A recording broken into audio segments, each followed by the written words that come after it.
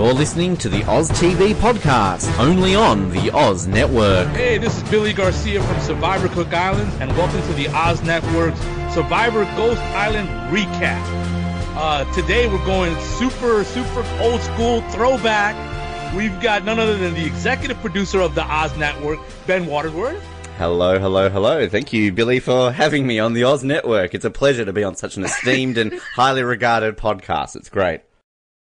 that was great. And of course, we have Ben's tag team partner or partner in crime, whichever way you want to look at it, and that's Colin Hildings. Hey, hey, Colin. Hey, uh, if Ben gets to be the executive producer, I am the president and CEO. okay, Mr. Trump.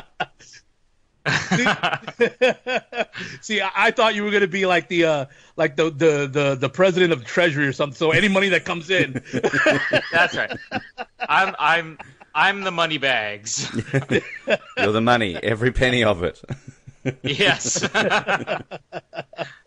All right. So uh, so we've got our third. I it, I don't know what to call it. The second episode, third episode. It, it's it's it's it's to the point where survivors this season is, is, is, so confusing, at least to me it is, uh, that, that the beer doesn't straighten it out for me. It makes it worse.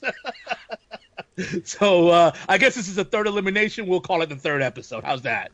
yeah, that works. That works. All right. So our episode begins with uh, with the aftermath of the uh, the Jacob uh, elimination. I don't even know what you want to call it. The poor guy, man.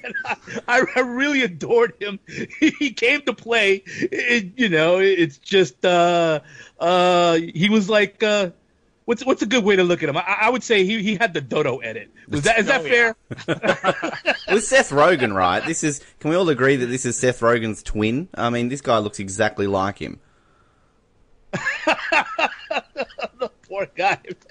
you know what I thought? Who's that? I don't know the name of him. I mean, he's Bob Ross. That's who it is. The painting guy from PBS. This is like oh. his son.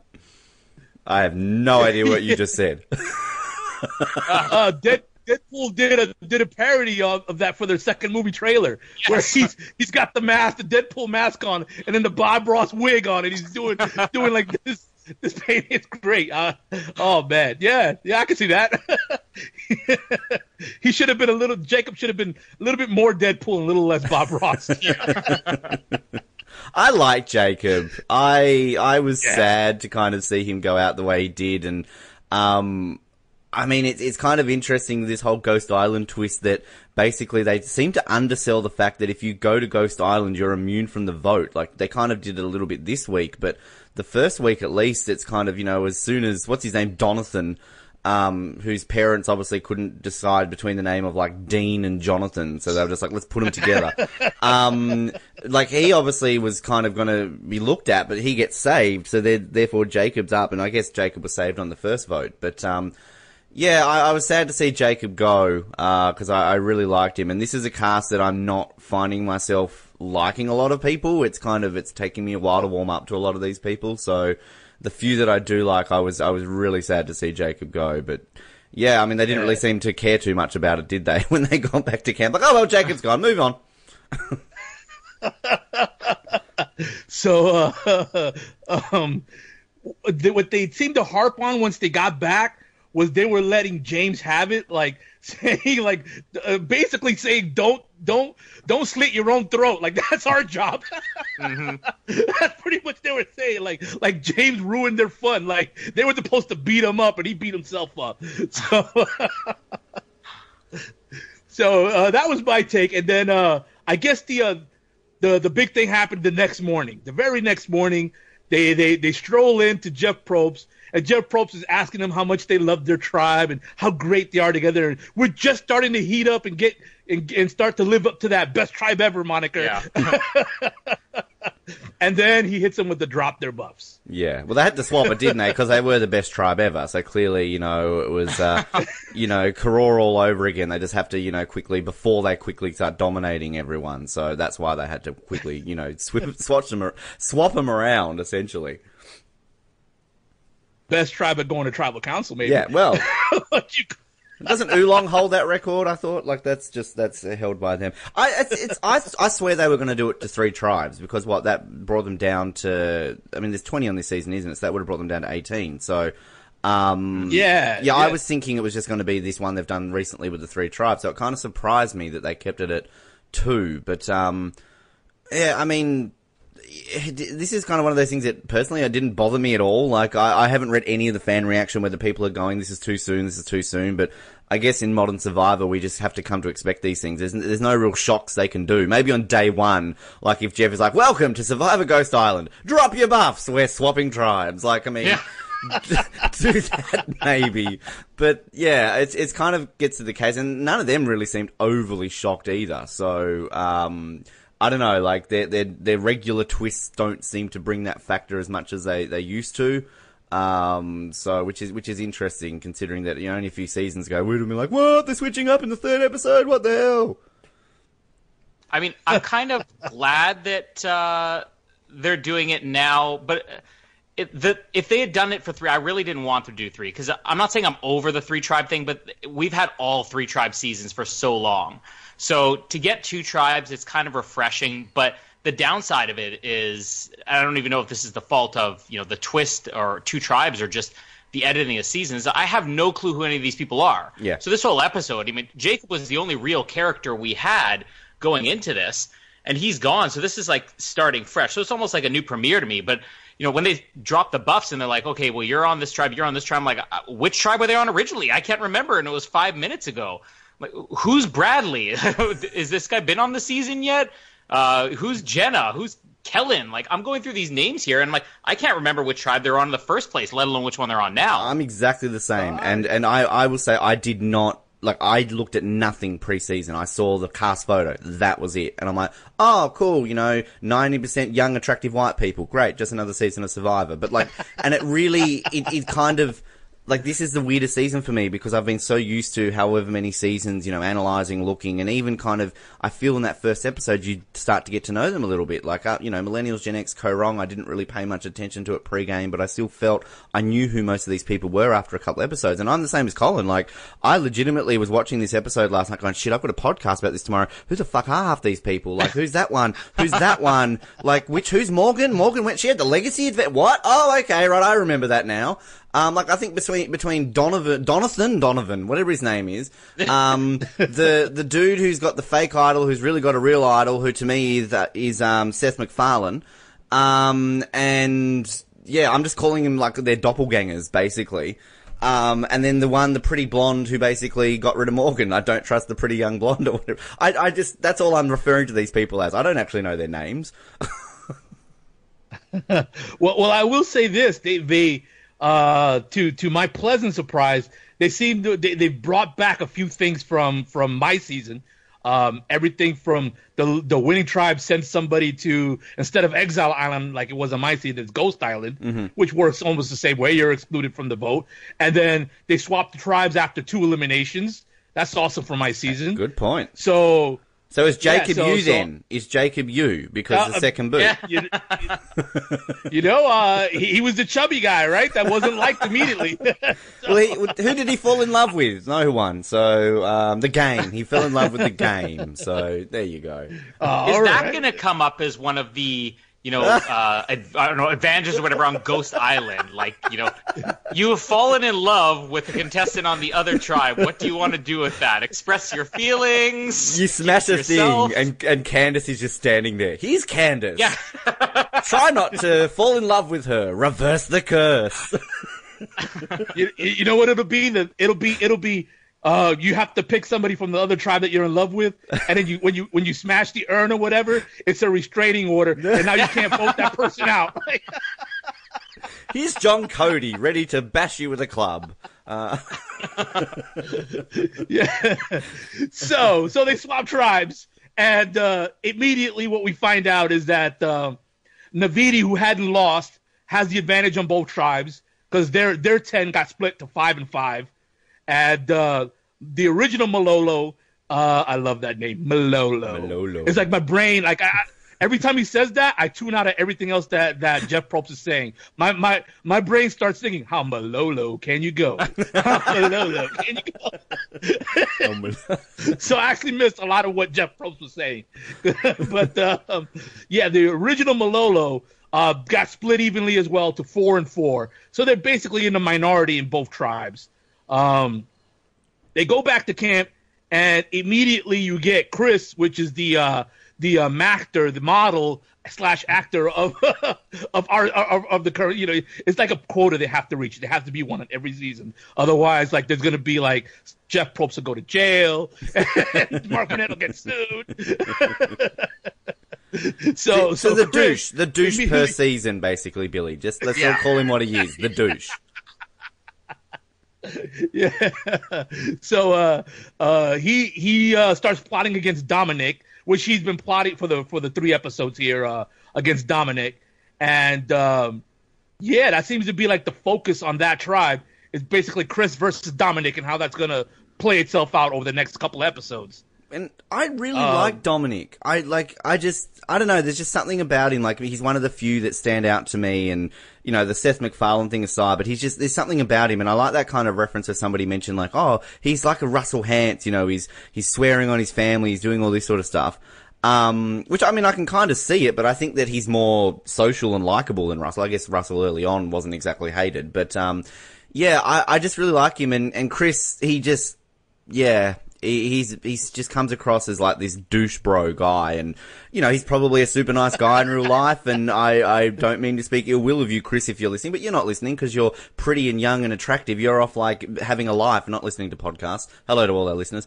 Um, but I I yeah, I just I don't like the way he kind of comes across as very condescending. The way he's sort of like saying like we need to get Dominic out, we need to do this, we need to do that, and I don't, can't even remember mm. which woman it was who was like, oh, he's like talking down on me. And I, I absolutely get that. And I think that, you know, to me, Chris isn't lasting as long in this game as Dominic, just because I think he's going to rub people the wrong way more so than Dominic scheming, oh, look at my fake idol, I've got a real idol, you know, blah, blah, blah ways. So, yeah, I, I'm not liking Chris, but I'm really liking Dominic. I'm thinking we're going to run into the same problem with both Chris and Dominic who ran with Jacob is that they're they're big characters and they're dominating all the screen time. They're not going to last long because it's it's the same issue they all have is that none of them are self aware. Like Jacob's like, oh yeah, everybody bought my lie, and everybody's like, nah, not buying it. And the same thing with Dominic is like, oh, I showed them this idol, and they're like, ah, I don't trust this guy. Chris, this is our plan. No, I don't want to work with him. But yet all of them seem to think, yeah, everybody's behind me. And as soon as they're gone, and both of these guys are probably going to go early, maybe Dominic can you know sneak by, but as soon as they're gone, I feel like we're again going to be just reset to zero. Like, who's our new character? And they've come out as strong characters so far this season, but I don't know if they're likable. I, I, I agree with you, Ben. I, Dominic is one of the ones that I'm entertained by so far. Maybe just through lack of options. You know, Stephanie would probably be the other one.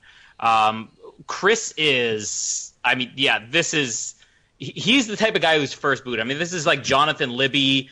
Um, it, it's it's every single douchey guy who just comes out so overly confident and is gone early. I, I, don't see any chance of him lasting even one or two more episodes. I like Jonathan Libby though. Can I just say that?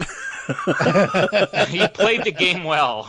Yeah. Uh, just on a just on a side note for record keeping, uh, it was it was Angela the uh, the 21 year Army veteran yeah. captain who uh, who felt that uh, she was being talked to. Thank you. Even though you know, yes, and and uh, one of one of my favorite things about Angela, I'm gonna just throw this in, was this thing on her resume where she's like this uh, this uh, specialist who was like a, a psychological battalion something or other, and I just looked at that and I'm like, in my preseason, that's why I picked her as my winner my winner pick. I was like, it sounds like she leads like an like like a like a platoon of uh, of like Manchurian candidates like into other people's country to overthrow governments or something. I don't know. It just sounded like crazy over the top. Maybe that's why so... she's on Survivor. Maybe it's a secret ploy by the U.S. government to overthrow Fiji. Like it's like, yeah, she's a contestant, guys.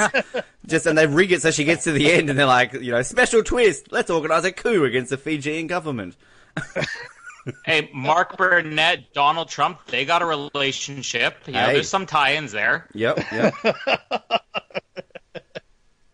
All right. So over on the other tribe, uh, on the uh, uh, on the the new uh, Naviti tribe, uh, we had basically a, a, a coming together of, of like two people that have the same religion, or, or that was like the oh yeah, we're Catholic sisters. That was Libby and I believe Morgan, and so this kind of played into what would happen later uh, when when they go to tribal council, where Morgan thought, "Hey, we have this super connection that we we both believe in the same religion, and of course we're gonna stick together like like nuns all the way to the end." you know. As they often do. I mean, that's what I know about nuns. Yeah, at least.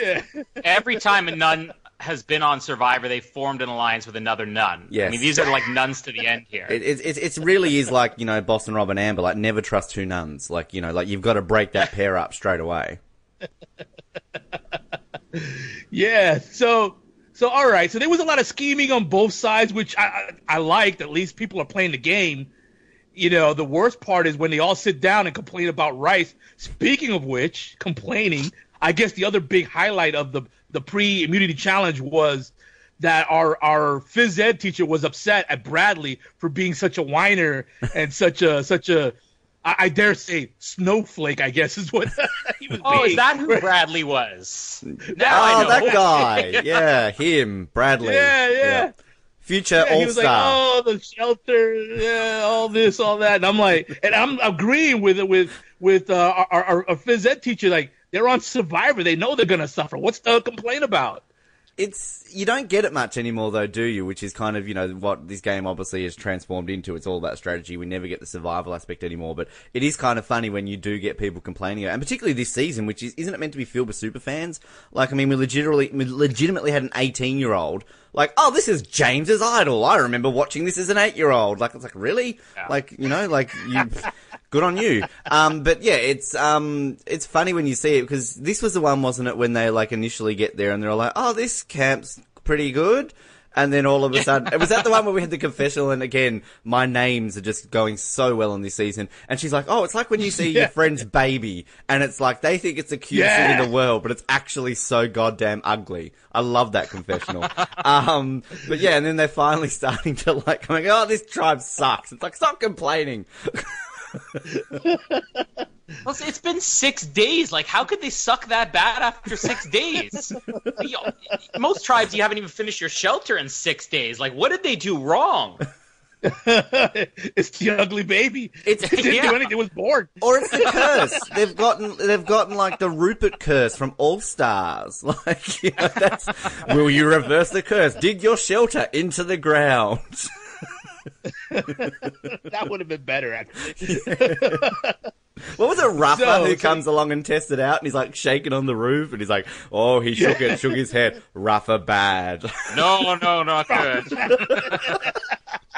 and you got Jerry in the back. It's just not worth it. Yeah. so you mentioned you mentioned Michael. That was that was probably the final highlight there of the pre uh of the pre uh, uh i- i- challenge moment uh where he finds he finds James's idol. And what I love about it is in modern survival where everybody stuffs their f- fine down their pants, you have this ginormous Yeah. idol from China. where, he, where I'm like, where the hell is he gonna hide And this? And how obvious He's was got- that? Did you see where it was sitting? Like, I mean, was that was that been there the whole time? Because it was just sitting there. It's this freaking square wrapped in like cloth. And like, it's just there. Like, I swear a producer's just gone, shit, Michael's coming, put the idol there. because it just seemed too obvious that nobody saw that until he saw that. And how does he smuggle it back into camp? Yeah. Like, where's he stuffing this thing? That's the best part. Like, how do you keep that one a secret? So, At least make it look phallic or something like that, because I mean, like you know, at least you can be like, yeah, I'm Michael. I'm I'm well endowed in the pants. Like I'm gonna be square dick. Like I mean, it doesn't exactly work. How did James hide this? Like, I know he was a big guy, but they're like, he went out with two idols in his back pocket, and I'm, I'm only years later, I'm watching this, like, he didn't literally do that. You got to change the way you're phrasing that. Like, even James is not hiding those things. Well, he like had well, like he was built. He had pecs though. Like I mean, he could have just like, look how rock hard my pec is. Come and tap it. No, he didn't have pets. He just had two idols in his bra. well, well, in, in all fairness to James, back in those days, they had these big sacks that basically you put all your all your your your different uh, sneakers for the different challenges and uh, the the different T-shirts. Well, not different T-shirts, but you had a T-shirt, you had a hoodie, you had a long pants, you had shorts. So you had different stuff. So he was able to like wrap it up in his clothing and may you know uh, and maybe in an era where idols were still brand new, like it wasn't like the thing like it is now. Maybe people took it as oh he's just taking souvenirs. Well, that he's taking was- pieces of camp. Yeah, because that was like that was really the first season, wasn't it? What the third season where we really had well, fourth season we had idols kind of fully in play, and I guess that was the first time we hadn't had you know just a necklace little dangly thing like this. Legitimately was, you know, who would have guessed at that point that that thing was an idol? And I remember that you know he got it, and then didn't. Was it Todd or was it um who was it who was ripping all the other ones off, just checking them in case? Um, yeah, yeah, I think it was. Yeah, so I mean, I think what was unique about China is that yeah, like as you're right, like you can sort of get away with that because no one's guessing it that that would be an idol at the time. So I guess he could probably get away with it. But yeah, like this time around though, like there's there was no hiding that idol. That that was there. That was so goddamn obvious. And like it's you know, I mean, we we when was the last season we had an idol clue that wasn't, you know, like I know they kind of get clues when they go to, you know, rewards and stuff like that. But, you know, gone are the days when idols first started it, it was all about the clues. Nowadays it's just I'm going to Yeah. go look for an idol. Oh, here's one. Like, yeah, I realize it's a lot longer than pitch that. black with Yeah. no lights out. You know, the moon's covered with clouds, and you're just feeling around a tree. It's like, here's one, here's another one. Yeah. Yeah, so long as it's not moving and trying to bite at you, it's an idol. Yeah, So- exactly. Yeah. And soon, and soon they probably will. This tarantula is an idol. Keep it in your pocket. yeah. Well, well, if you remember last season, the idol was just a shell on the floor. Yeah. So seashell on the floor. So that makes this whole humongous idol that much more interesting. That mm. everybody's looking for it, and everybody's a super fan. So I think if they see it, they'll recognize it.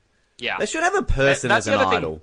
Like make like kind of like have it like as Cluedo or Clue, I think you guys call it, where basically you know who's the murderer, who's that sort of stuff. Just like automatically, like the mole. Like okay, you know Donathan, you are the hidden immunity idol this season. Don't tell anyone.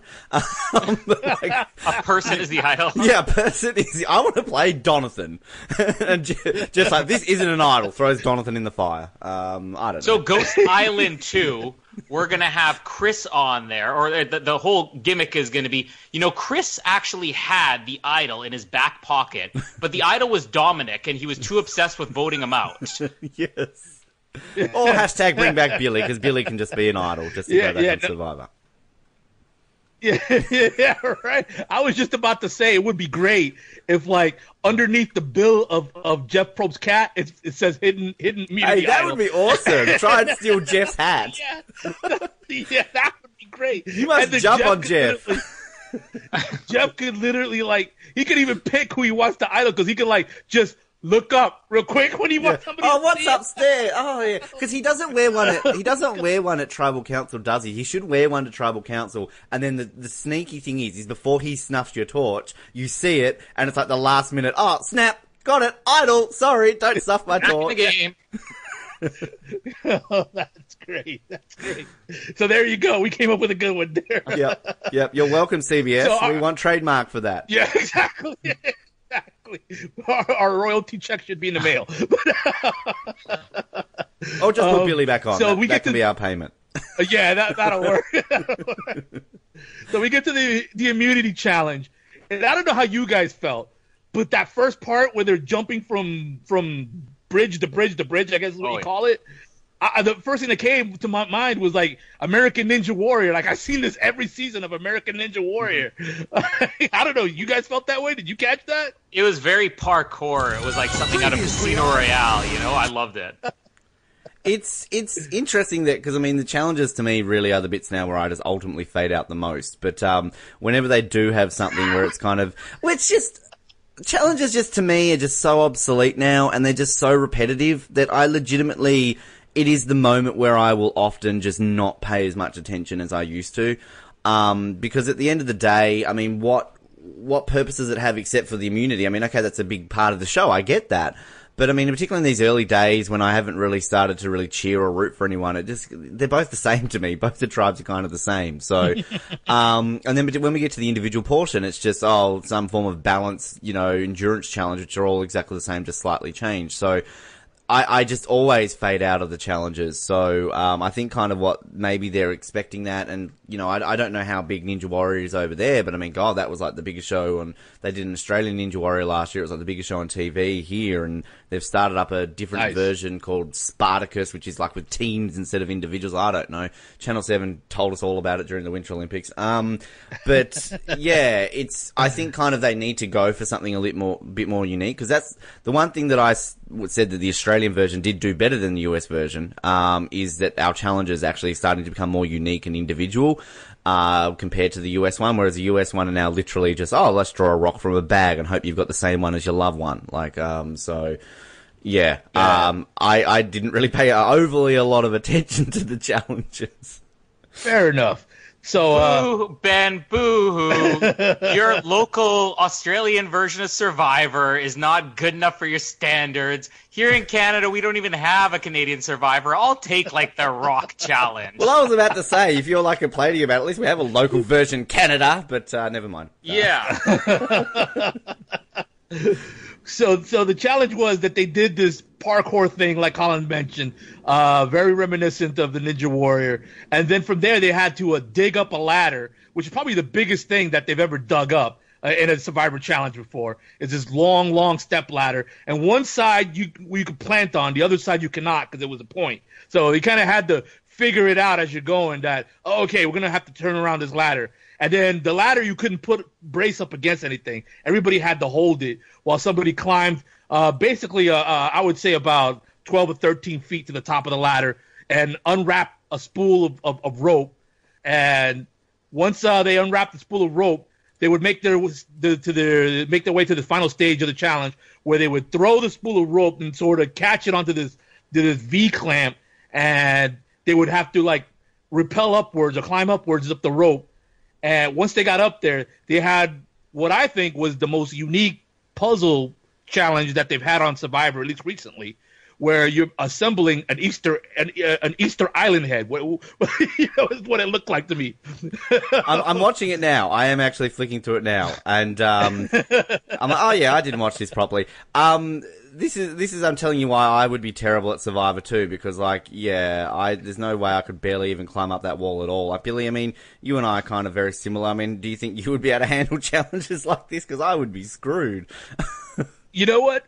The uh, the climbing up the wall with the rope, so long as there's a rope, I did as a marine all the time. Right. So my body knows how to do that. But the uh, the uh, holding up the ladder, like I- I'll I'll be I'll be honest, like you know, if, if you never worked construction or something like that, you probably never did that in your life. So I, I would be relying on somebody who knows what they're doing to tell me where to stand, you know, because I, I wouldn't be able to brace brace myself against a ladder and hold up a human being at the very top. I don't think. The closest I've ever been to a marine is uh, my birthstone is aquamarine, so that's about as close as I've ever been to uh, being a marine. So um, no, no. But at least we did get a puzzle that was, uh, like Billy said, it's harder to solve. Because last week is like, can you put together the Survivor logo? You super fans who have watched this and seen 34 versions of this logo 16 times per season. Do you know how to spell Survivor and move these puzzles around? So, yeah, give them something challenging like this one. Yeah, for sure. And the way it played out was basically uh, the Naviti tribe just lost because they couldn't you couldn't focus while they were tired. They were so they were so beat up from the other part of the challenge that Wendell especially just couldn't focus on what he was doing. He was so so tired and huffing and puffing, and he was you know he, he just he just basically blew the challenge. Just I'm putting just- it bluntly. I'm waiting for the the ringer challenge where it's like, you know, you must parkour across these platforms, you must, you know, pull out this ladder and climb it up, and then when you reach the top, we need one of your team members to assemble an ottoman, and then then Wendell's got it, and he's the hero. Yeah, yeah. You think that a person who does furniture for a living, he would have just looked at this like, oh, this, this is an IKEA. This is like an IKEA. Of, uh, you, know, you just put this together. I, They always suit that, don't they? They kind of like, you know, when Cliff, oh, let's just happen to have a basketball challenge. And, um, like Sierra had the barrel rolling challenge. Like, yeah, where's the, you know, the IKEA challenge? Um, Well, you have no idea how ticked off I was that I was eliminated right before the wrestling challenge. Yeah. I was like, I was like, no. yeah. Damn you, I two tribe. Like, Yeah, I There get could've like, eliminated just metal before the podcasting challenge.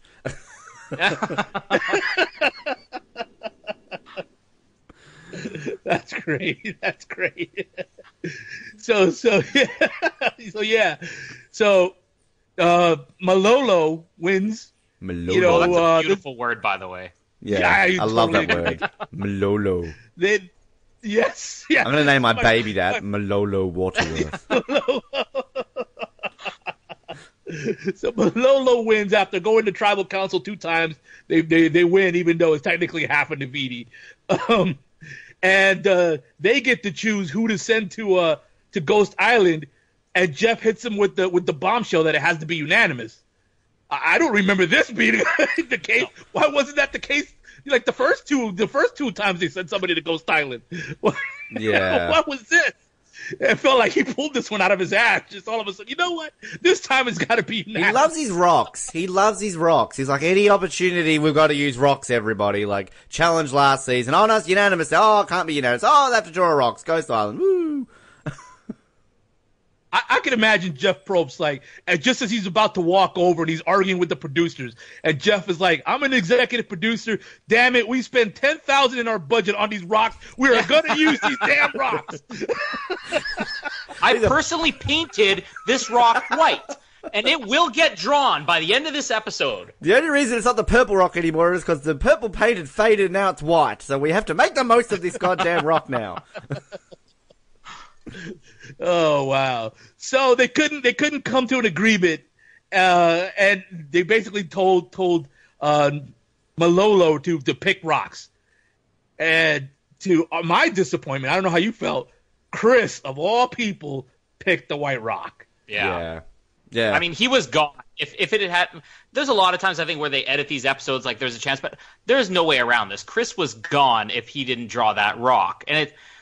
I, don't dislike Chris or anything, but I mean the other thing is that he shows up at Ghost Island. I mean, even if he had won an advantage there, would Chris have known how to use it? I mean, I just feel like this entire thing was wasted. No, he just the thing with Chris too. Like, does he know how to smile? Like, I don't think once in this game I've seen him crack a smile. Like, he's just got this very stern, rigid face. Um, and like you He know, was it was- more upset than he thought. Ben, come yeah, on. Yeah, well. I mean, him crying, you know, yeah, okay, it was a sweet moment. I'm not going to, you know, talk down on that, but it's just, I don't know, just like, I swear he's the type of person where it's like, Chris, you've won Survivor. He's just be like, I'm so happy. I'm so happy, Jeff. so happy that I've won Survivor. This is the greatest day of my life. Like he just has no like facial personality. Can I just I just really want to quickly say about Ghost Island though that like I I had no idea what I was going to think about this twist, and it's kind of it's still I think being worked into it. The thing that I'm really really enjoying about it though is these throwbacks. So when they do find James's idol, here's a quick little flashback to what happened. You know, and last week, you know, this is what happened with Andrea. Here's the legacy advantage. Like I'm I'm kind of liking how they're tying that into it. And for the most part, we are genuinely seeing fans who are excited. Like, oh my god, I've got the legacy advantage. Here's my name. You know, here's Sierra's name. Here's Sarah's name. Like, it's just, it is, I, I kind of like how they're doing that. So, I think this, this whole twist has potential. Um, I just think that this is just such a unique idea that on a show that's been on for this long that they're able to celebrate its history like this because I don't think we've really had a season doing that. Like, I know some of the All Star seasons try to do that with throwbacks to the challenges, but they kind of they Right. like they like forgot about it halfway. I think All Stars really when they had that trivia challenge was kind of a nice throwback to the earlier seasons, but um, it's rare that they hold it up. So yeah, I just I just wanted to have that opportunity. I haven't really had a chance to speak about this twist before, and I just I'm kind of enjoying that aspect of it at least. But yeah, fuck Chris. I was sad he didn't go home. Yeah, Yes. I mean, I think that this could very well go wrong where everybody just has an advantage. And we saw that play out last season near the end where it, it made it kind of fun. But if this gets to the point where everybody's got an idol, everybody's got an advantage, and everybody's playing, I mean, it, it could very easily turn into a mess of a game. But they seem to be countering that with, you know, you have nothing. Thanks for playing, or whatever those are. My question is, is that they're doing these in order. Do they have to do them in order? Because if they so. do, I mean that it, it- it's just they're going up there and they're choosing. Okay, I'm going to choose the second one. I'm going to choose the third one. And now we've got two episodes in a row with nothing happening. And in a show like this, I think you really want to sell this uh, this twist, and you want to sell this advantage in the early episodes.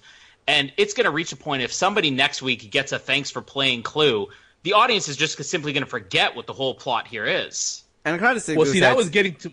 you, that's where you go, Billy. Oh, thank you, thank you. It's your show. Um, you're the executive producer, but uh, uh, I was just gonna say that was kind of my my pet peeve is that twice in a row now the theme of you know this is the theme of the season is Ghost Island, and twice in a row we got nothing happening at Ghost Island. So that was my pet peeve. it's, it's the theme. It's So and the same, Ben? yeah. I was The just one gonna advantage that actually, I'll I'll go Ben. go, Colin. Uh, the one advantage that somebody's actually gotten so far, it, it's already been wasted. It's already gone, and it's got to Yeah. be willed to somebody else. It's it's interesting though. Like this is kind of the first island season where, because generally, like on Exile and and Redemption, I mean Redemption's a bit different, but like at least with Exile, everyone kept getting the same person kept getting sent back. Like because they're like, oh, well, they may as well go. They'll they'll get the clue. So it's it's kind of interesting that I like with that change this week where it's like, oh, it's got to be unanimous. Um, that does that work? Do you think to a favor? I guess it's different because you're saved every vote. But I mean, at the same time, like if they took that part away from it, like maybe send them between the reward challenges, I guess, like they used to do with Exile. Um, and then that way keep sending the same person so that you know they're the only ones with the advantage. I don't know how that would work. It's probably a dumb idea because then they could end up with 30 different advantages.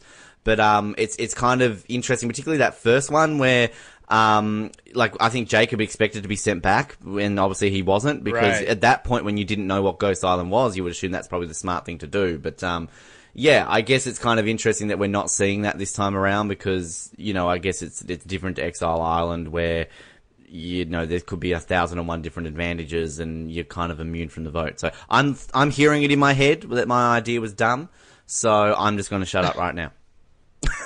You're not much of an executive producer. If that's the best you come up with. I don't think I'm ever coming back on the show again. Aw. I will say this that I hope at some point that when they go to Ghost Island, maybe that final urn, when that final urn gets smashed, like the big twist will be that instead of it being uh, a ghost from a past season, it'll be like an advantage nullifier where you, you walk in the tribal council, hmm. every advantage that gets played, you nullify it all at once, but you only get Yeah. to play it that one time. Or it's Billy So, I Garcia. Here he is, ladies and gentlemen. So, so I, I'm hoping that'll be the case. Anywho, so so N- Naviti goes to tribal council, and in what, in my opinion, it looked like Angelica for whatever reason did a sidestep and threw her vote away on Libby. Um, that's what I, it looks like to me. The, the the the the team that was in the minority actually took out one that was in the majority because Chris was in Ghost Island and like I mentioned, Angel- uh, or yeah, Angelica, she uh she took the the sidestep. So I found that interesting that Morgan, who they didn't even know had it, or maybe they did know. Who who did know? Um, maybe Jake. someone did know. I got to go back and check. Jacob knew. Jacob knew. Oh, but she told Stephanie. I wonder if Stephanie, who's on the other tribe, told anybody that ended up on on the new the new Naviti. That would did be we interesting. did we see we didn't see any sort of mention of it, did we? Because it was He he he he, he, he basically spilled his, Jacob spilled his guts to Stephanie before leaving. true. But did um Yeah. did we see any mention of it this week though? But with Morgan having it, or was that that was last week? I can't even remember. They, they they did a they did a they did a previously on Survivor and they mentioned they, they showed the, the actual the actual advantage being willed to, to Morgan. Yeah, see, I skipped the previously on Survivor part, and when she was voted out, I was just like, okay, well, I don't know who she is. And my wife was like, wait, she was the one with the legacy advantage, right? I'm like, was she? Like, and it wasn't mentioned at all in the episode, and I had to really think to go back. I'm like, oh yeah, she was. So it, maybe they could have made a bigger deal, but that's I guaranteed the next episode starts. The, the first scene is this is who I'm willing it to now. Well, they, she did mention in her exit interview that she willed it to Dominic. Hmm. So so Dominic has a real idol, he has a fake idol, and now he has the real legacy advantage. So so yeah, that's starting to pile up for for Dominic. If he gets sent to Ghost Island next, holy smokes! like, that that that'll be just too much. Power. You know what would be great though? Now this just jumped into my head literally right now. You know that it, it when you get to play if you lose, you, you lose your vote on the next uh, the next uh, tribal council that you go to. Mm-hmm. How about instead of if you lose your vote, you lose all your advantages, Yeah. Yeah, you build them up and then it's gone. and then a it's risk. gone. 'Cause Or you how took about- too many risks? How about instead of you smash the urn, you don't get to play, you get like some really lousy souvenir from the past. Like here's Dan Foley's underpants that washed into the ocean. hey, I- I'd gladly wear them. the, the, can I just ask a quick question? Just with Morgan, I actually sort of liked her from what we saw. Um, and you know, the fact that it was kind of, you know, ultimately, I guess, a blind. I loved her reaction when she went out. Uh, she's the third Morgan to play this game. Uh, where would you rank her up against Morgan McDevitt, Morgan McLeod, or the entire Morgan tribe on Pearl Islands? You know, I'll go with the Morgan tribe on Pearl Island. Yeah. I, I, I, I'd personally go Morgan McLeod. If you two don't want it, I'll have it. That's fine. Um, but uh, just putting my hand up to volunteer there. But uh, you know, it was interesting on her way out. She pretty much was like uh, letting everybody know that Libby Libby played her. I love that. Don't trust the cute little blonde. And then the way she like was that was Libby, wasn't it? Where she was like, "Oh, puts her hand in her head." Like, just own your Yeah. move. That's one thing I don't like about like on Survivor. Like, own your move. Like, don't act all sheepish and all like, you know, oh shit, I shouldn't like because to me that just shows weakness. To me, I think you should be owning your move at that point. You pulled it off. You blindsided it. You did what you want to do. Sure, you might regret it, but like, don't necessarily show that in public. Like, say that for a confessional. Be like, oh fuck, I really shouldn't have done that. But like, I don't know. I just, I don't know if I'm just, you know, being the Monday morning quarterback here and saying it's easier said than done, like with a regretful move like that. But to me, it's just a case of she's been called out in front of the entire tribe, and she she acted that way. I don't know. Personally, I think you should just sit there with your head held high and be like, "Yep, that's what I did." You know, was it Jay a couple of seasons ago, like when um Michaela got voted out, like you did that, and he's like, "Yep." like, yeah. You know, Well, it, I'll the just thing say. that- Go ahead. Go ahead, Colin. go ahead, your show, Billy. Shut up, Ben. Billy's talking. Yeah, everyone, shush, Billy. Billy's listening, talking. I'll just say that it's a fine line between being confident and owning your move and seeming smug and arrogant. It's True. a fine line. So True. So so maybe maybe what what Libby was trying to do is like bury her face so she she doesn't like give away like the yeah I took that bitch out look on her face. You know, it might not just be sleepers. It might be she doesn't have a poker face. She doesn't want to show anything. Just cover her face. Well, it's, it's definitely a season, I think, where people are easily buying into things, uh, as in, sorry, like, saying, like, oh, they're, they're, like, you know, the fake idol, uh, straight away. Like, Chris is like, oh, yeah, I'm not buying this. And then, like, with Jacob, oh, yeah, I'm not buying this. So, like, it really seems to be a case where these people are more astute with these sort of things and are quickly saying, like, oh, I'm not buying that. So, it's going to be interesting to see what her initial reaction was. I mean, she seemed genuine. Like, she legitimately seemed she regretted it. I, I, if she was faking that, uh, and she comes back next week. It's like, yeah, the bitch is gone. I hope you all believe me that I was upset. Like, good on you. I'll maybe switch my opinion. Like, she legitimately seemed like she regretted doing it. But, um, All right. yeah, it's interesting. I think the the smart move here though probably would have been to take out Angela because everybody really wanted Chris out. Now, by keeping Angela in the game, you've kept at least one person that is loyal to Chris for whatever reason, who's going to stick with him. And we're we're we're in this. This was the tribe, if, if I'm right, that was five and four, right? Yes, For the all number- of. Both of them are. Yeah, I was going to say both so- are, aren't they? even if you get one of the other ones out, you know, somebody from the other side, you're still pushing it now as 4 4 in the future. So you want that advantage. Why are you going to leave two people who are not going to side with you, who you already know are going to be, you know, ganging up against you? It, it seemed like Angela would have been the much smarter move to make. Well, Angela sidestepped. Remember, she wrote Libby, so there's a possibility that she sold out. Oh, the Angela's on their side. Yeah, there's a possibility she sold out and be, she sidestepped. She wrote down Libby, so she took her vote out of the equation, allowing the four to vote to vote against three instead of it being uh, four on four with uh, Chris being at the at, at Ghost Islands. So it, it, it seems like she sidestepped. So maybe the whole Chris barking orders has backfired on the majority, and now that he wasn't around to keep her in line, uh, or you know, or, or maybe it didn't even matter if he would have been around. She she was already not, not feeling being being told what to do. That she totally like might have went to the other side. Which is and maybe that's going to be the other first scene that we get. You know, Yeah. when the next episode starts, explaining it. But it kind of would have helped in this episode, so you're not left scratching your head because when this ended.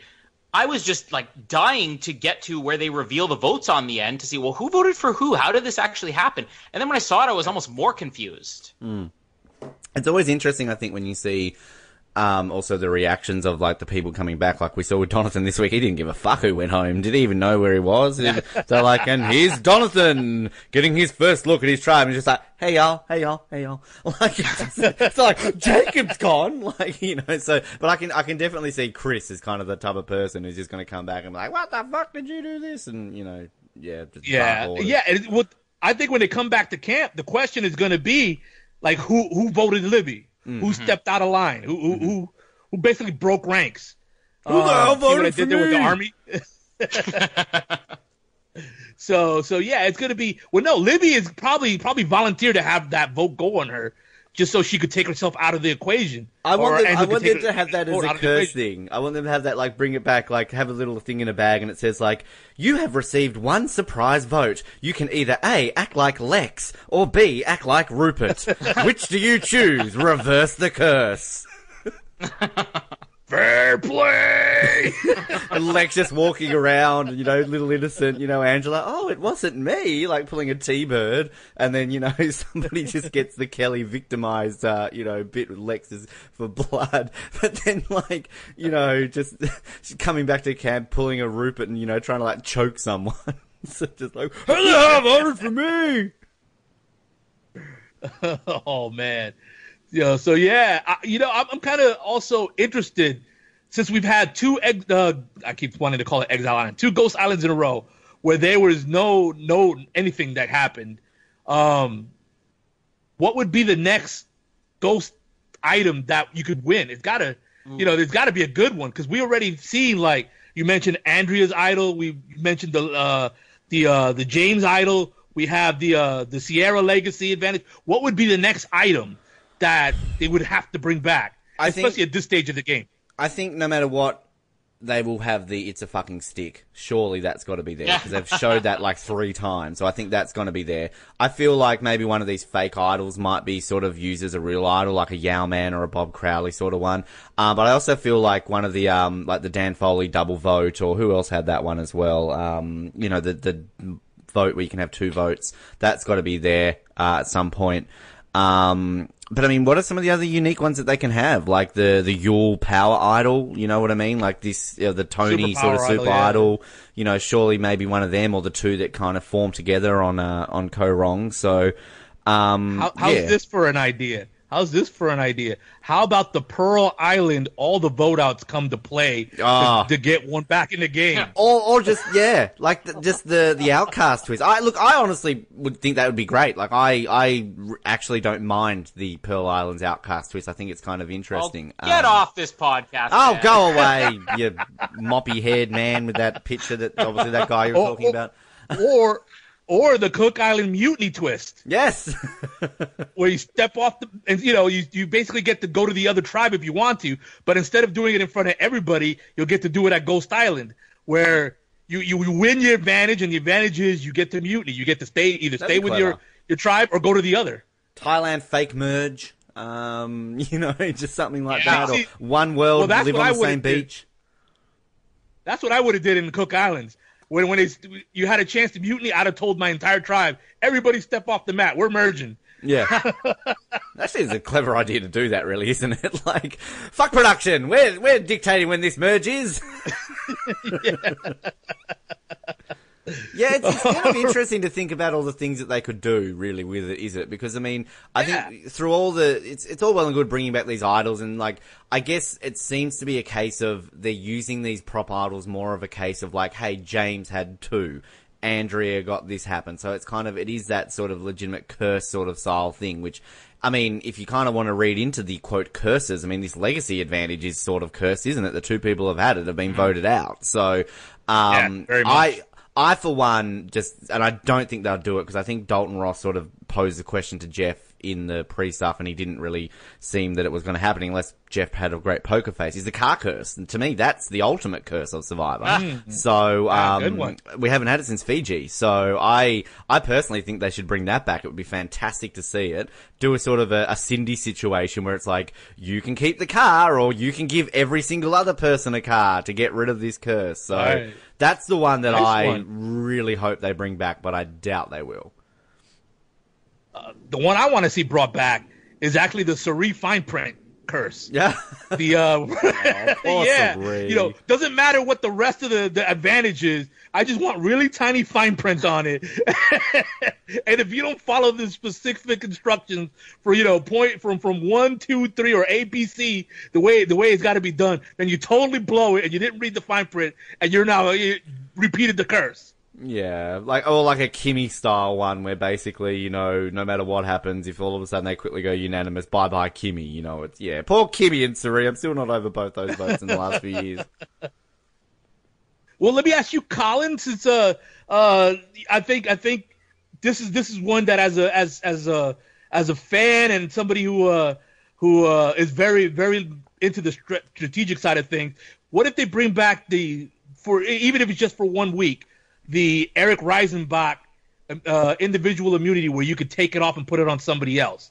Ooh. Uh, I was, you know what I would really like because I want something where, uh, like, like Tony and and um, Brains, Brawn, Beauty, where whatever advantage you have only works to the final five, but you can tell everybody it's final four. Yeah, Hmm, Or a okay. Spy Shack. yeah. Well, we have that listener who keeps sending in those ideas, don't we? About the whole like, um, which would you choose if you were on Reward Island boat or whatever it was. Um, so yeah, I mean, some of those ideas are legitimately fantastic, but um, yeah, it's it. You know, I think that would be unique. Like, I, this is all about revisiting the past and reversing the curse, all that sort of stuff. It's great, but like, it would be great if they came up with their own sort of like new, completely, you know, like, okay, we've revisited all of these. Now it's time to create our own sort of like one moving forward, like the, you know, most unique sort of thing that they can come up with. So, um, yeah, and, and I wonder if they're going to play up because we know that the final four again is going to be the whole like you get to choose someone to take to the end and the other two make fire building, right? So you wonder if they're going to play that up as kind of a like, oh, well, this reverse a curse, you must choose wisely because from what I'm aware, these people wouldn't have seen the finale of uh, Heroes, Healers, Hustlers, so they wouldn't have known that that was a thing. So, um, yeah, you wonder if they're going to play that into the whole reverse the curse notion because Jeff obviously said that's Right. going to be a thing this season. So, yeah. Right.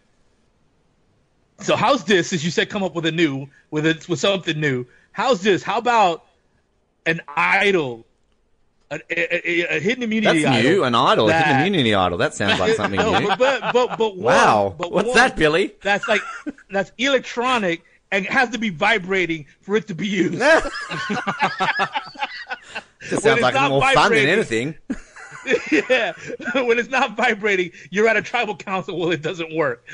when it is vibrating, or even better, lit up, because then you can't even hide it. But then, but then production would have too much say in that, though, wouldn't they? Like, oh, They they would. They, you know, Chris has the idol. Yeah, We're not they- lighting it up tonight, but you know, Donathan does lighting it up. or, or you know, instead of having the, the, the two halves idol, like you, you have to find two halves, maybe have one that it's a puzzle, and Yeah. until you, you solve the puzzle, the idol doesn't work. Or like five people have pieces, and then you somehow have to work out who's going to Oh use it. Oh my gosh! I, I, I still Yeah. stand by. I still, I love your idea, Billy, with Jeff Probst's hat. I think that's unique. But uh, The I hat, also, the hat, the hat trumps everything. Yeah. I, I love the person. I think they should make a person an idol. You know, just like Jeff Probst is the idol. I like to play Jeff Probst. Thanks. So I got to ask you guys: Do we buy this? Do we rent this, or do we bin it? This episode. You want to go first, Um, Colin? yeah. I mean, here's the thing. There's stuff to enjoy in this episode. I thought the tribal council was good, but maybe because, you know, the two big characters were the f- two first vote outs last week, and I'm just I'm struggling to find out what the alliances are. And doing the the tribe shuffle this early just sort of left me not knowing who was on whose side and everything, and then taking Chris out of play. I just don't feel like this episode went the best way it could have gone. And I'm not saying like, oh, let's script it differently. Like it's it's I, I want a reality show. I want it to be unpredictable and everything, but I, I just wasn't loving anything in this episode. So I'd probably bin this one, even though there is some Wow. good stuff in it. Wow. Okay. Wow, I wasn't expecting you to be in If it. I- Jacob was in it, it would be a rent. To me, it's a low rent. I mean, like I'm sort of nothing to me really stood out where I'm like, this is like you know amazing. But I'm sort of on the opposite. There's nothing really to me that I would want to bin it. Um, so yeah, I mean, it's a low rent for me. It's not one of the greatest episodes of Survivor ever, and I think kind of similar to what Colin said in terms of the fact that I'm just not really getting into a lot of these people. It's just you know, it's it's kind of just a bland start. I know people were sort of saying that this time last season with Heroes, Healers, Hustlers, and I was the opposite. I was loving it. So I, again, I don't know what the fan reaction is to this season. I haven't seen any comments online. So um, yeah, it's a, it's a low rent for me. Um, I'd say for me it's a rent, but I, I like the cast. It's just in this particular episode, the people that I liked most were downplayed the most, like Stephanie Johnson was Oh, somebody oh. I really liked the last time. And, and Donathan with his accent, like he could read the phone book and it'd be entertaining to me. But we didn't. We hardly got any, yeah, subtitles. But we we hardly got any of Donathan in this episode. So the people that I was liking, like, was totally like hardly in. Yeah. So for that reason, but I did like the uh, the Easter Island head as the puzzle for the for the challenge. I, I thought that was unique, and uh, the aesthetics of this season, like especially the voting booth, like that's to me the best. Oh, that looks awesome. Yeah, Ab- agree. So agree. the aesthetics of this season is kind of it's kind of keeping me to where it's you know it's it's still the third episode, so I'm not over it yet. I'm still going, whoa, that's cool. Oh man, they should show more of that. So maybe maybe a few more episodes in, I'll be like, all right, all right, come up with something. You know, but right now I'm good with Rent. Yeah, I'm I'm I'm just going to totally agree with Billy. I mentioned this earlier. At this point, Stephanie is the standout character. And I don't even know if necessarily she's going to be the most likable character ever, but she's interesting and she's different, and she doesn't seem like you know a put on. And I think that's the one thing with Dominic. As fun as Dominic is, you do get that vibe of you know he's out there playing a character. Uh, you know he knows why he's cast. He's playing up to it. You just get Stephanie is kind of weird and she's semi brilliant um, and just completely different from players we've seen in the past. Yeah, I love Stephanie. Um, she's her. Uh, I like Dominic, uh, Jonathan, of course, and I actually kind of like James whenever we see the guy, which is never. Um, but what we have seen of him, I like James. Yeah, yeah, he's down to earth. I I will say this about Dominic. Dominic, there was a, a few times when he's done confessionals where I'm like, I, I, you know, I'm ready to name this guy like the the Long Island Slayer instead of the Dragon Slayer. he's got that. He's got that. Like you, like Colin mentioned, he's he's like playing a character, like like like Coach, like like like uh, Benjamin uh, Wade played. He's playing the the uh, the whole Dragon Slayer thing, but it's a different take on it. It's that deep. Hey, forget about it, New Yorker. you know, that's what I get from it. So it's a different take on that character. we finally it- it got somebody it- on this show who can do a New York accent. Hooray! Thanks, Billy. it took a New Yorker to do it, but yeah, got just a. New Yorker, but We we finally got to. Yeah, thank you. Yeah, yeah. I was rooting. I was rooting in my preseason for all the New Yorkers because there's so many of this season to get together and take everybody out, and uh, instead they're at each other's throats. Damn it! have, you, have you met any of this cast yet? No, no, because I, I am, I am someone who does not like spoilers. Someone spoils even just a little bit, I'm like, damn you, you ruined the whole season. Wait a second, but you're tight with Sandra. How do you how do you speak to Sandra and not get it spoiled? Well, she knows me already. She knows. She knows already. I, Uh. I don't want to spoil it. But, But- but, you know, Sandra, Sandra, Sandra, I can get loud too. So, you know, You meet Sandra, she legitimately within two seconds. Hi, how you been? You want no spoilers? no, Sandra. all right. So we've got a lot of listener questions to get to here uh, for the second week in a row. So thank you to all the listeners. Uh, so we're going to start out with Louisa, who uh, made this comment. Billy, have you ever met the legend that is Sue Hawk? And the answer is I, I, I met her at the uh, at the 10th anniversary. That was my only time meeting her.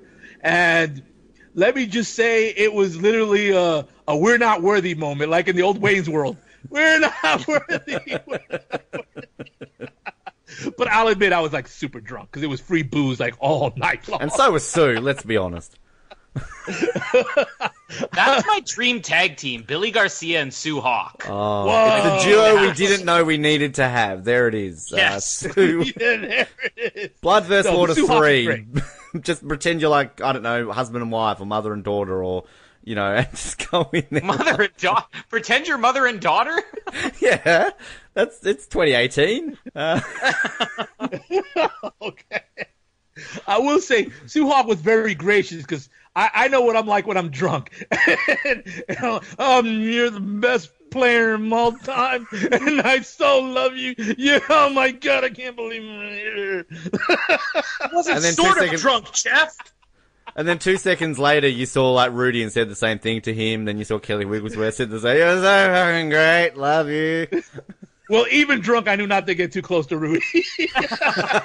He'll bite your head off. This guy in a No, skull actually shirt angry. came up to me in a homosexual way.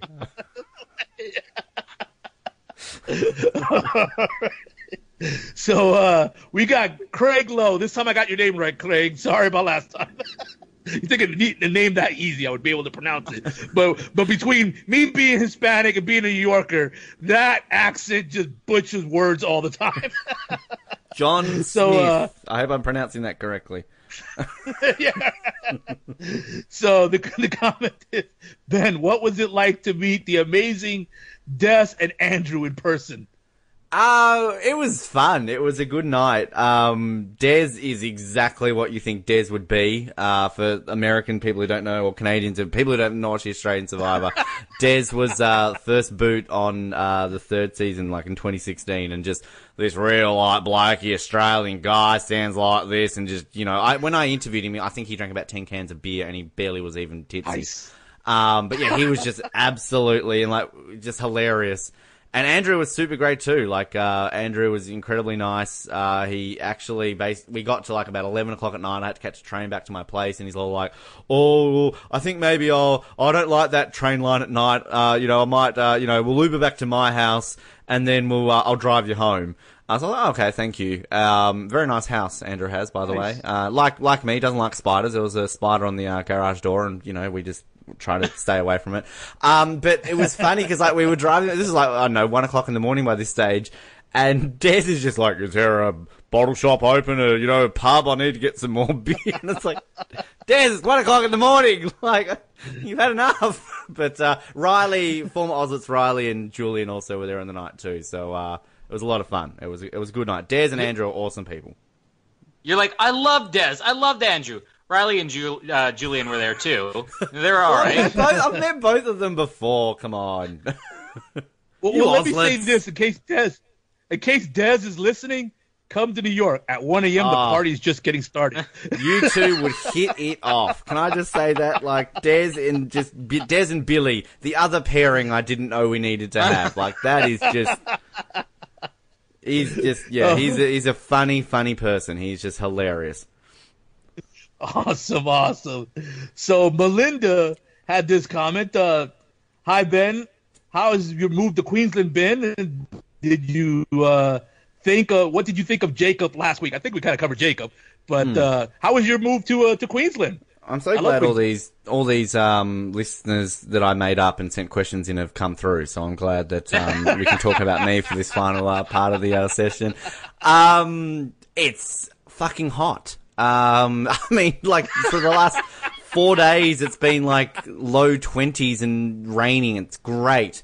Um, but you know, the first week it's like you know high twenties, and it's just a humidity here. It's like Queensland's kind of like Australia's Florida, I guess.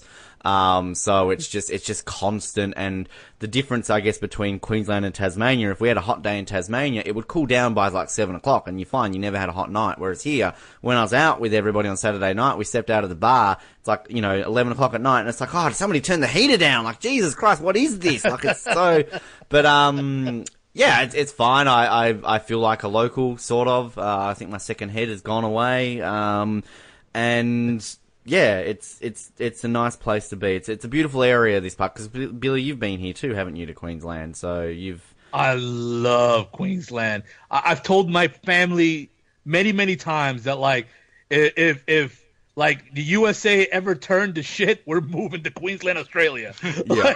we're, we're, we're, we're, we're, we're gathering all the cousins, all the aunts and uncles, and uh, we're we're gonna kick in the uh, the Led Zeppelin immigrant song, and we're coming to move to Queensland. it's it's the, the beautiful the beautiful thing about this part too is because kind of like where Brisbane is. I'm sort of halfway between Brisbane and the Gold Coast, so it's kind of Okay. like everywhere you go, you throw a rock and there's a beach. And like last night, I went out for dinner with a friend, sort of down the coast on the Gold Coast, and it's just kind of like. You know, beach, beach, beach, beach, because this is all the postcards you see of Australia is just generally the Gold Coast and the beaches and the high rises and all that sort of stuff. So, uh, it's all kind of hectic stations as everybody's preparing for the Commonwealth Games at the moment. But, um, yeah, I mean, it's, it's a, it's a beautiful part of the world and yeah, it's, it, you can see why it's, it's so popular where people visit here. So how did either of you choose Queensland over Winnipeg, Manitoba? That's what I want to know. Uh, to be honest, it is effing cold. Colin, I would take the weather in Winnipeg over the weather in Queensland. I'll tell you that. Uh, oh my god! I'll just say that I, I I've never been to Winnipeg, but I've been to Toronto in the middle of winter, and you know I thought it was like, yeah, it's a major city. You so what? It's probably going to be the same as New York. No. it was much, much colder. And there were parts of me shriveling up that I don't want to admit to.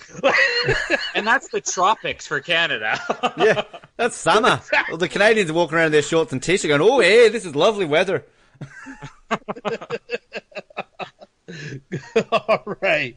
So Jillian, uh, she says, no, no, no, Jillian Smart. Sorry, Jillian Julian Smart. That's a good one. what did Ben? What is? Oh, everything is for Ben and none for Colin. I'm sorry, Colin. Oh, Colin, do you want to me answer this one? We got a celebrity on here, and Ben's getting the questions. Yeah. what did Ben think of the first episode of Ghost Island compared to the last season's uh, opening three? I'm going to let Colin answer that one because I feel Colin needs to have a question to answer here. Yeah. Um, ben thought it was. So,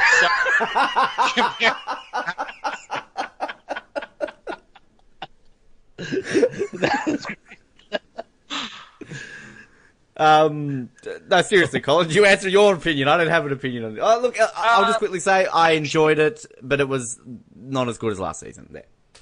Yeah, I'm gonna agree. I mean, I don't know what some of the hate was about last season having a slow start. I thought last season had a great start.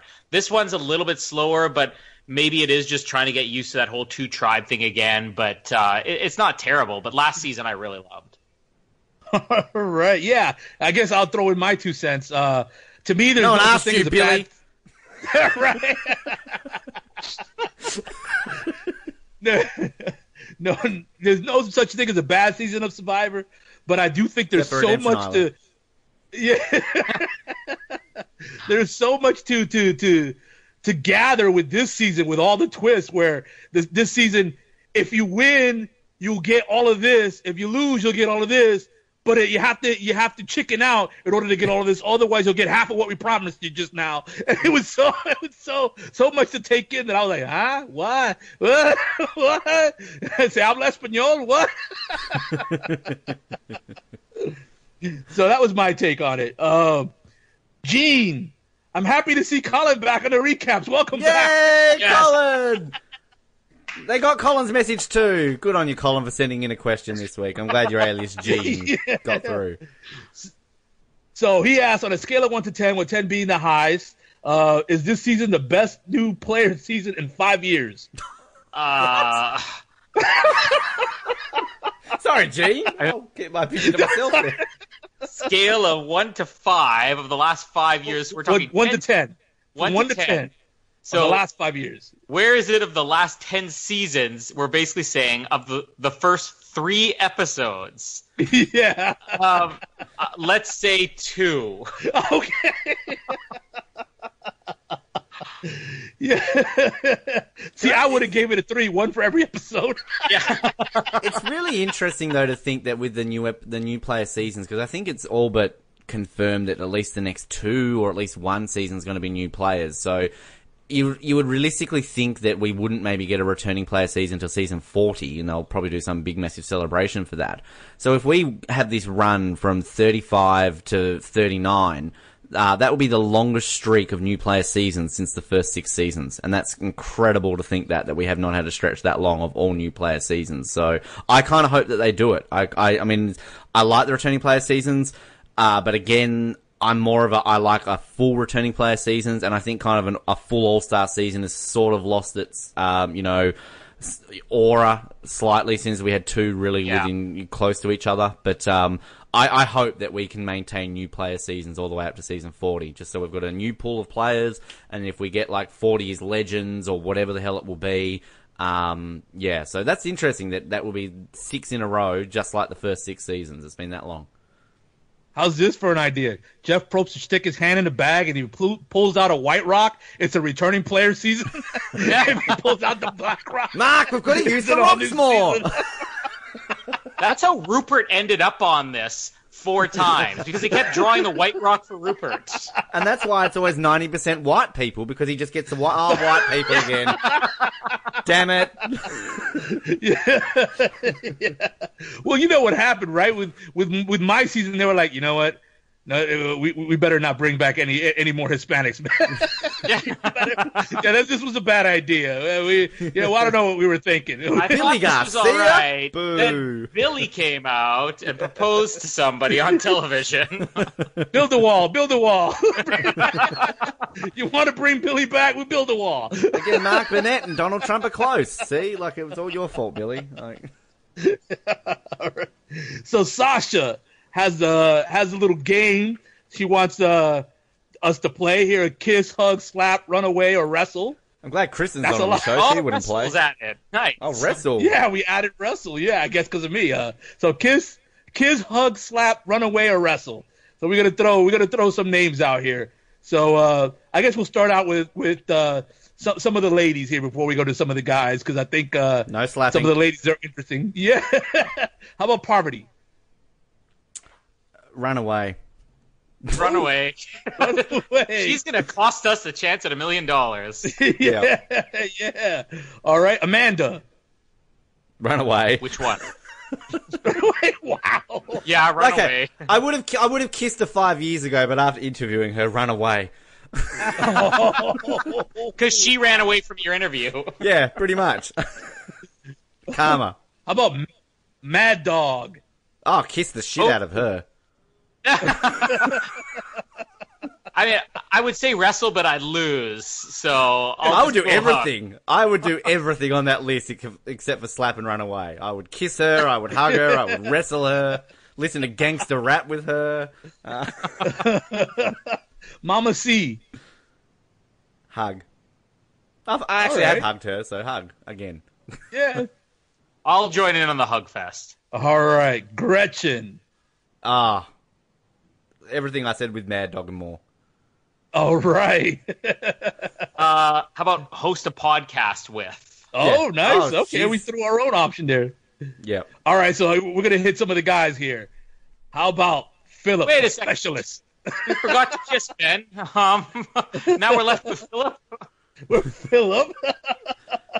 Um, I would wrestle with Philip. You know, I would run away from Philip, but my wife would be running to him. So uh, Oh, He's shirtless Why all the time. might as well just yeah, might as well just hug Philip and get it done with. all right, we'll do a couple more. We'll do a couple more before we wrap this. Ozzy.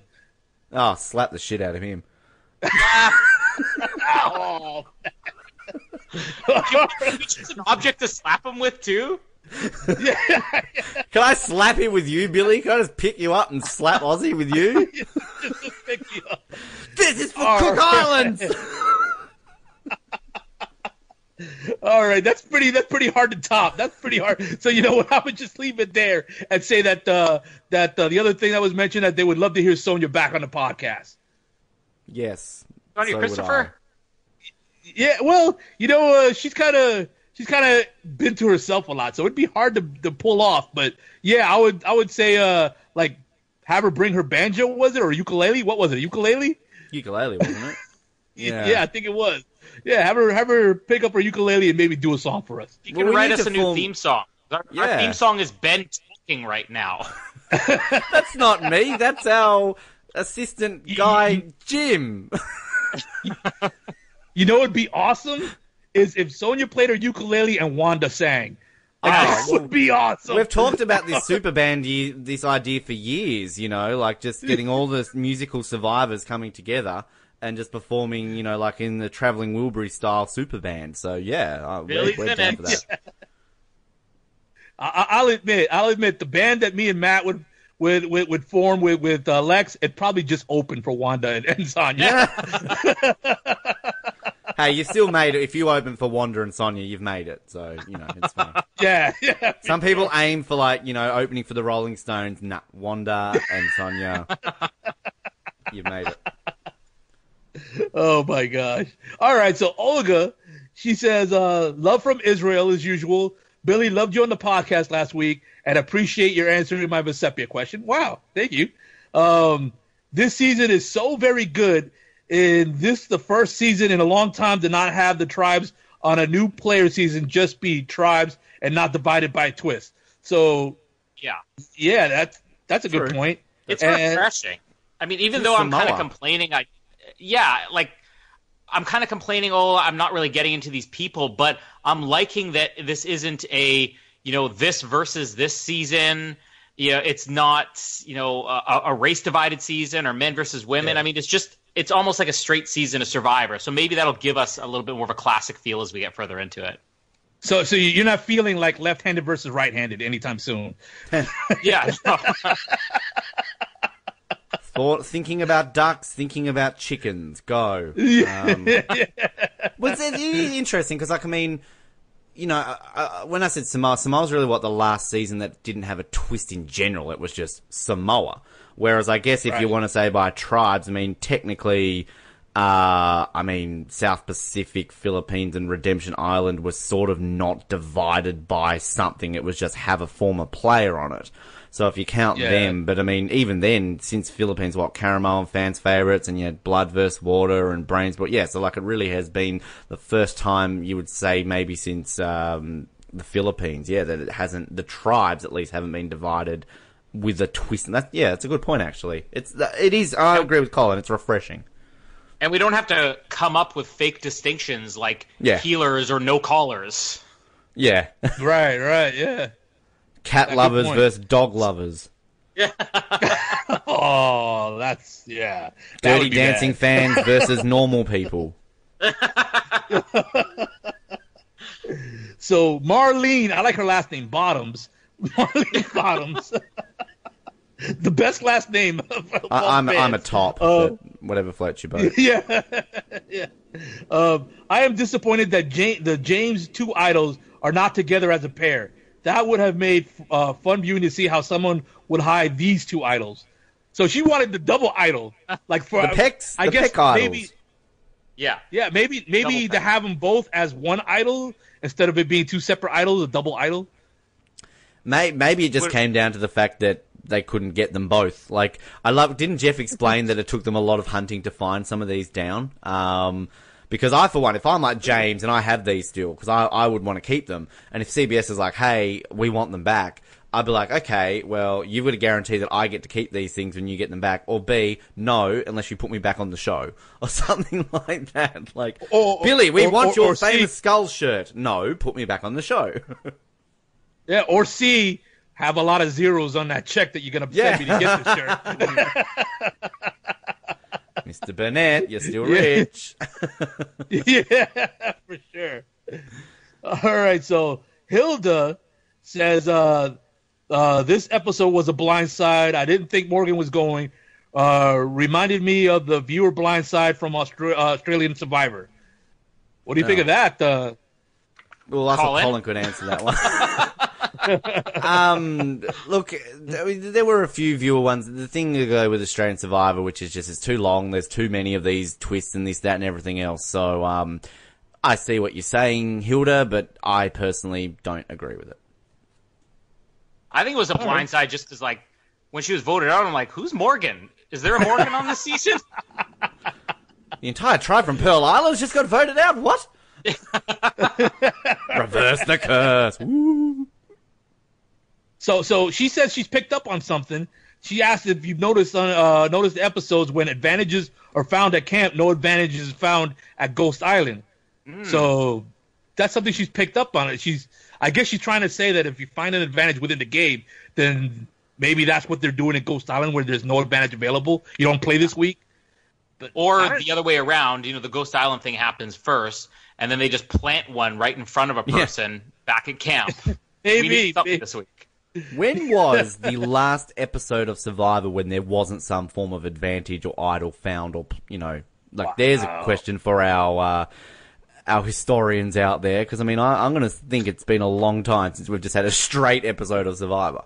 Episode six of Guatemala. Ah, the good old days. Episode six of Guatemala. Wow, wow, that's a good one. That's a good question. Um, all right, so we got from Twitter here. We got LA LAD undercover twenty two, who's uh, who says, uh, "Yeah, no offense, Billy, but but it's good to have you you guys meeting Ben and Colin back." Um, and so he wants to know. Uh, uh, why did Canada do so terrible in the Olympics? Oh, all right. I've been waiting for this one for two days. Get your statement out, Colin. Get your pre-written statement out. First of all, we won more medals than we have at any other Olympic Games in history. We're a couple of gold medals shy of our record, which was the all time record, which was only tied this Olympics by two other countries. We're third in the standings, but you just hit a nerve of every Canadian fan because we failed to win a gold in hockey and we failed to win a medal in men's and women's curling. So I guess you could look at it as a failure, as most of our country is, but the numbers don't lie. Canada, number three in the world. Well, I, I agree. was, I was only thinking that maybe he was like, you know, going like, why did you suck so badly in Athens? Like, you really should have Yeah. won more medals in 2004. Like, did he specifically say which Olympics? You know, so, you know. Yeah, you know what? For me, I was just happy that the Dominican Republic competed in a Winter Olympics. Ben was thinking the same thing about Australia with the results they had. And again, we apparently were disappointed with two silvers and a bronze, and I think that's fucking fantastic. So, um, That's I, great, look, yeah. lad, I, I love your, I love your messages. I think they're great. But dude, like, are you just trolling here, mate? Because seriously, like, Canada did great. Australia are proud of us. Uh, I mean, maybe you're like a, I don't know, a, a Liechtensteinian uh, heritage, and you're just kind of, I, I really don't know. Or maybe you're Norwegian, and you're like, ah, the only time we can gloat about things is in the Winter Olympics. The rest we just go back to being Norway, and no one realizes we exist. So yeah. Hello to all our Norwegian listeners. Joppy. So, okay, it's time for Granny Survivor. Yay! All right. Granny! Yeah, so, so uh, she says, "Hello, dears. What a fantastic episode. I, I love that. I wasn't sure who was going, and the person who did go surprised her. Um, it's good to see Ben and Colin back on the podcast. I totally agree with that. And uh, so here's her. Here's her. Here's her trivia. Uh, last week, uh, Figgy actually got a winning record. I was pleasantly Aw, surprised figs. but but there was a Cook Island question in there, and I tried my best like to keep a poker face to not give it away. But, but my, my poker face, my poker face is probably the worst one in Survivor history. So no, I thought you were lying when you said you're in love with Candace. I didn't fall for it. You yeah. despise, I despise you, Candace. You're disgusting. All right. So here we go. The true or false. Kelly Wentworth is the last player to play, the last female player to play an idol on Survivor. Uh, false. True. All right, we got Ben one nothing on Colin. It was Yeah. true. Yeah, yeah. Uh, Lauren Rimler was the was the uh, first player since Kelly to find an idol, but she didn't play it. I think that's True? true. Did I not hear that statistic No, last no, no, that's season? that's that's why. No, that's why. I'm just giving you why Kelly Wentworth was the last to play. Oh. Oh, okay. I thought it was question number two. Well, we were both Okay, right. yeah. We were both right. It's 2 1. there you go. Extra points. Yeah, yeah. All right. So question number two. Cirie is the only castaway to be idled out in multiple seasons. Was True. she idled out in another season? False. What was she idled out in another season?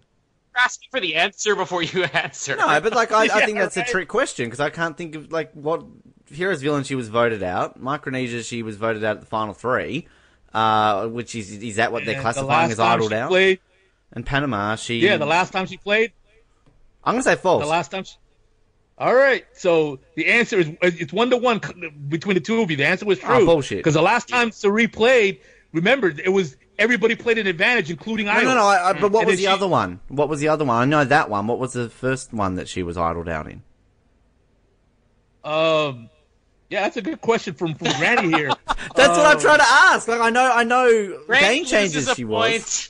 But like, I, I seriously want Granny to explain that because maybe she's thinking of Micronesia because they kind of flipped it up at the last minute. But Heroes Villain, she was voted out what, like third or fourth, and Panama she wasn't idled out. So are they Oh, referring? this is- This is just like Australia in the Olympics. You get one wrong. It's like, no, no, no, wait a second.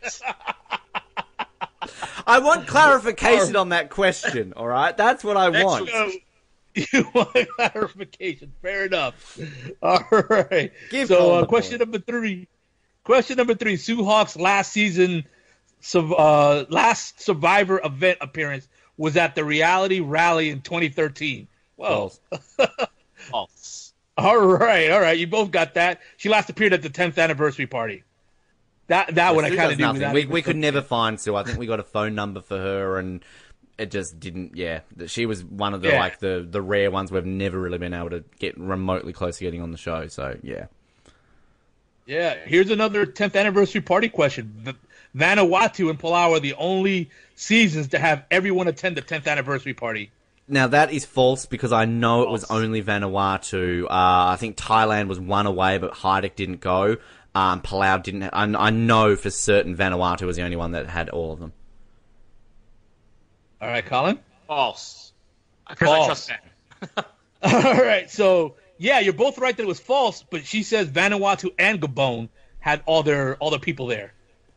Oh, Ben's gonna challenge you again, No, uh, look, you- I, look, I, I've seen the lists, and from what I remember, it was only Vanuatu was the only one that did. But I look, you know, Granny might have been there, so I was drunk, so I couldn't even. I'm not trying to be that guy. But come on, All right, last one here. Uh, Penny was the first contestant to cry after another contestant was voted out. Wait, reread, reread that one. Penny was the first contestant to cry after another contestant was voted out in Survivor history. I want to say false because I feel didn't like Brandon cry after Lindsey was voted out on Africa.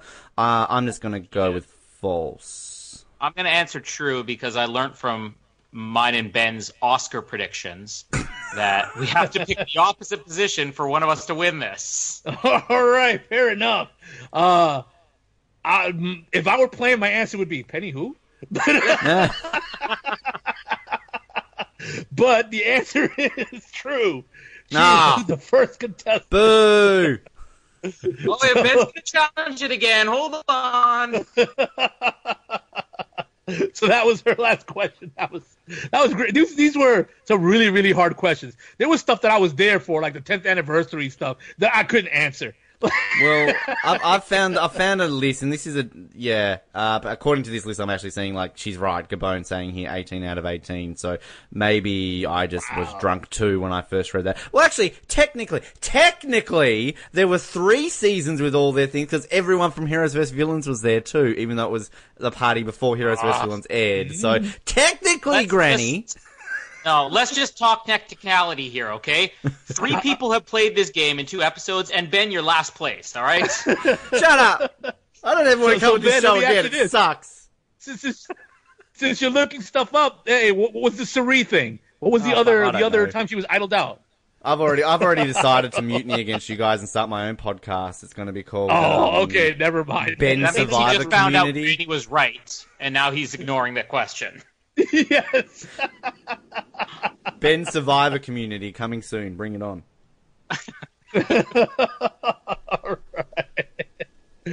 Oh my gosh. So so that brings us to uh to uh, let me just tell the listeners that we'll be back again next week for another recap.